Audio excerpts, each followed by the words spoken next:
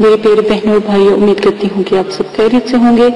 आज मैं आपको नुस्खा बताने जा रही हूँ चेहरे के बालों का, यानी चेहरे के जो फालतू बाल होते हैं, जो बहुत बदनुमा लगते हैं, बहुत ज़्यादा भद्दे भी लगते हैं तो उनको कैसे अक्सर दफ़ा खवतिनें क्या करती हैं कि उल्टे पुलटे नुस्खे इस्तेमाल करके चेहरे पर धागे इस तरह की चीज़ें इस्तेमाल, मशीनें इस्तेमाल कर करके तो वो अपने चेहरों का सत्यानाश कर लेती हैं।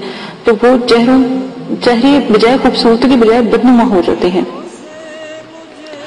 एक बात याद रखिएगा, पर्दे की बात है कि खातन जो शादीशुदा है, उनके लिए बहुत मसला है ये।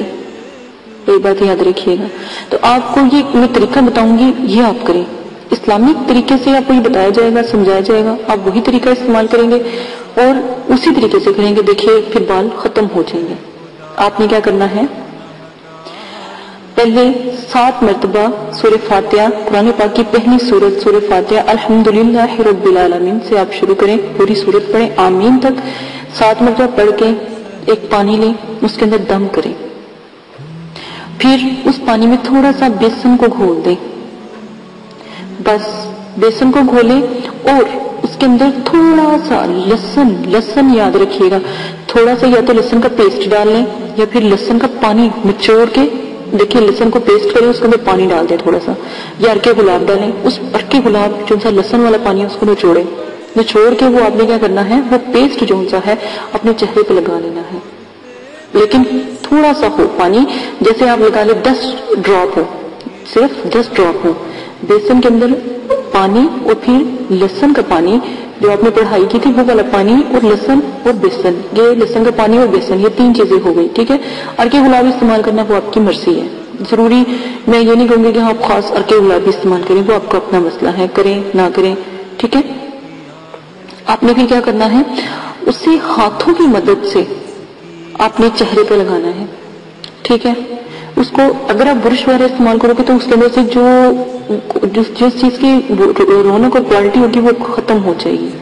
ठीक है? और फिर जो आप अमल दोहरा रहे हो, वो भी आपका काम करना छोड़ देगा। आपने क्या करना हल्का सा खुशक हो जाए। हाथों की मदद से पहले उसको लगा लें, फिर उसको हल्का सा खुशक होने दें। गद्दे से हवा से झोल के उसको खुशक करें। सर्दियाँ हैं तो फिर पता देर में खुशक होता है तो कोई गत्ता ले लें, उससे हवा करके तो उसको ये पंखा लगा के आप उसको खुशक कर लें। दो तरीके हैं। तो आप इस तरह करें, फिर उसको खुरच के, यानी कि चेहरे मुबारक से आपने उंगली के साथ ऐसे हटा हटा कर इतना ज़्यादा सख्त भी ना हो कि निशान ही पड़ जाए। आपने बिल्कुल एक पता है आपको जब वो जम जाएगा तो फिर वो पत्थर भी बन जाता है।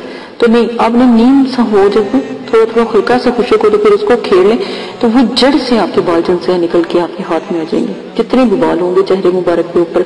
तो फिर आपने क्या करना है, फटकरी का पानी, फटकरी का पानी जरा सा नमक डाल के आपने किसी रुई के साथ तो या फिर कपड़ा ले लीजिएगा कॉटन का कपड़ा ले लीजिएगा, या कुछ सूती कपड़ा ले लीजिएगा, उसको आपने जो है रगड़ना नहीं है, बिल्कुल ऐसे हल्का सा लगाकर आपने रात को, सुबह को दो तीन टाइम लगाए इनशाला मैं कहती हूँ, अगर थोड़े बाल हैं तो फिर एक ही दफ़ा काफ़ी, एक दफ़ा में खत्म हो जा आ जाते हैं, ठीक है?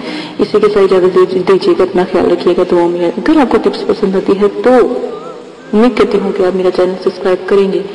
और दुआ करती हूँ कि आप करें और इंशाल्लाह ज़रूर करें इजाज़त देना हाफिज।